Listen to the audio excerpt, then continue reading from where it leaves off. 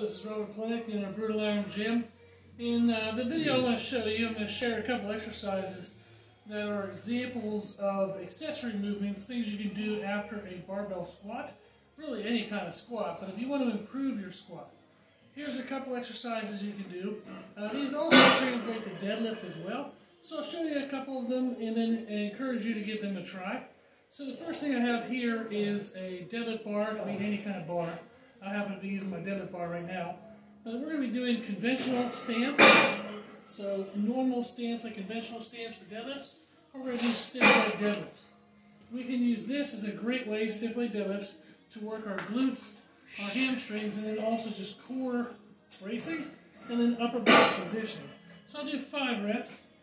A typical starting position for a conventional deadlift would be where my knees are beside my forearms.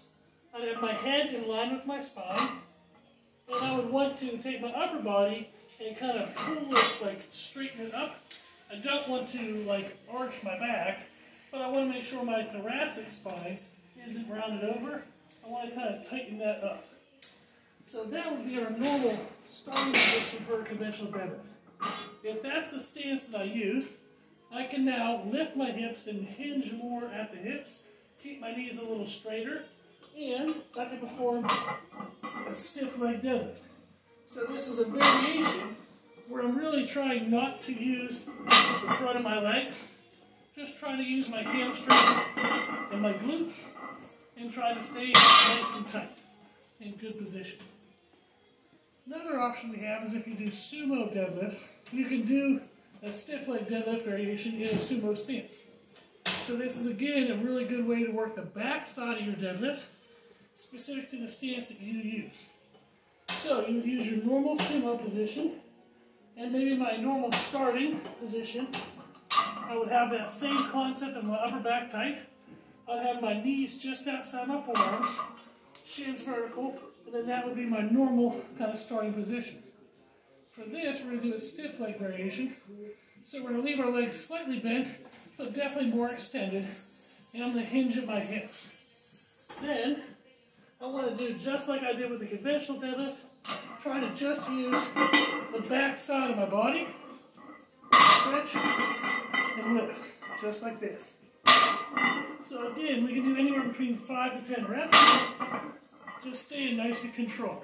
So those are two examples you can do with a barbell on the floor. So again, I'll just have it set up like this. Another option we have, another alternative, I have here our Duffalo bar. So you can see how the bar is bent. And I'm actually using it in a front rack position. And that'll help it to where the bar won't feel like it's going to like roll down or fall off of me. And I have a slider on the floor. So I'm actually doing reverse lunges with a front rack position. So I'll show you a couple reps. And again, the idea of this, if you can see me here, is having something on the front side of my body. I can't lean over and use my lower back. I have to use my thighs, specifically the muscles right by my knees. So I'll show you just a couple rep example of this exercise.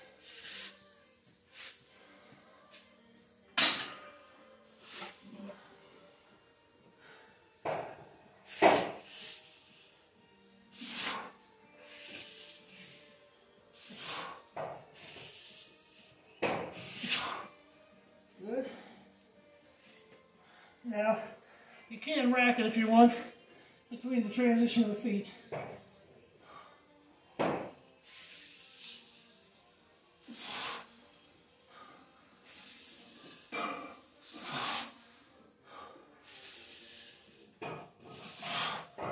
Good.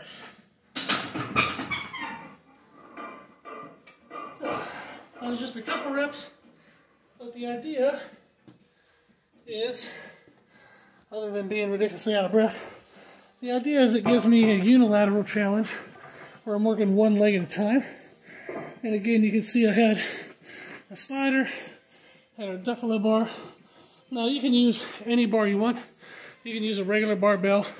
You can use a safety squat bar, that way it's more secure. But the idea of this is it works unilaterally one limb at a time. And that helps you work on internal, external rotation stability in the hip. And it helps work on the pull of those muscles off your knees. So it works on knee stability as well. The reason why I like using the slider is you have more constant tension the whole time. So rather than your body kind of like drifting back into the step, catching the bottom position, and then throwing yourself back into the next one, this keeps you constant tension the whole time. So here's some options. Again, you can use any bar, uh, but a front rack position is really well, it works really well. If you do it with a Duffalo bar or a regular barbell, you can use a safety squat bar, and that works well as well. But that's a good kind of couple options you can use. Then we have a barbell on the ground, and you can do conventional stance, stiff leg deadlifts from the floor, or sumo stance, stiff leg deadlifts from the floor. So some fun options, things you can put together after your squat or after your deadlift that helps you build those bigger lifts because you're breaking down the mechanics of the big lift into these smaller isolative challenges. As you get good at the small isolative challenges, you get better at the bigger stuff. So give this a try and good luck.